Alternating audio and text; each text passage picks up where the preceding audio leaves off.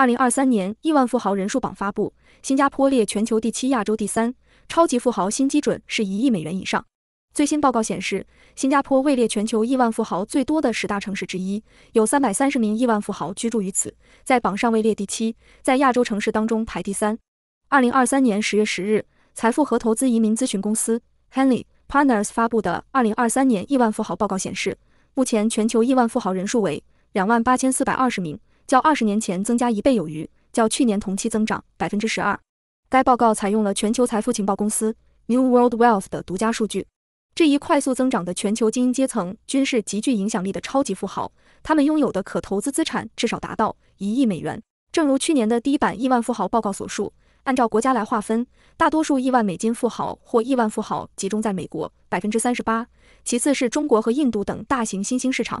全球三分之一的亿万富豪居住在五十个主要城市。这份报告采用财富研究公司 New World Wealth 的数据。十大城市榜单中，前三甲都是美国城市和行政区。纽约市以七百七十五名亿万富豪高居榜首，旧金山湾区以六百九十二名排第二，洛杉矶以五百零四名排第三，芝加哥以二百八十六名亿万富豪排名第九。亚洲有四个城市和特区进入前十。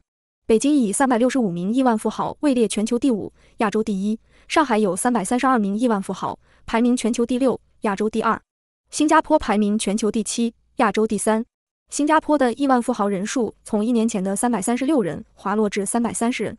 香港以三百零五名亿万富豪排名全球第八，亚洲第四。Henley Partners 首席执行官 D.R. George Stephen 称，一亿美元以上级别的亿万富豪是当今世界对超级富豪最贴切的定义。他说，不久前，在二十世纪九十年代末。三千万美元的级别是大多数银行认同的超级富豪，但在此后资产价值大幅上涨，这使一亿美元成为新的基准。报告指出，全球三分之一的亿万富豪居住在五十个主要城市。以国家来说，大多数亿万富豪集中在美国，其次是中国和印度等大型新兴市场。截至二零二三年六月，美国有十二座城市进入前五十名，这些美国城市共有三千三百一十一名亿万富豪，占全球亿万富豪人数的百分之十一点七。英国只有伦敦一座城市进入前五十名，它有三百八十八名亿万富豪，名列第四。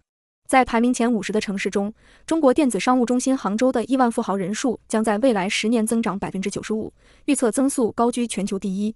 紧随其后的是中国科技中心深圳，增幅料达百分之八十八。上海、北京和新加坡的预测增幅分别为百分之六十三、百分之六十和百分之五十五，也远高于全球的百分之三十八平均预测增幅。今天的视频就到这里，感谢大家的收看。如果您喜欢我们的节目，请关注新加坡之音。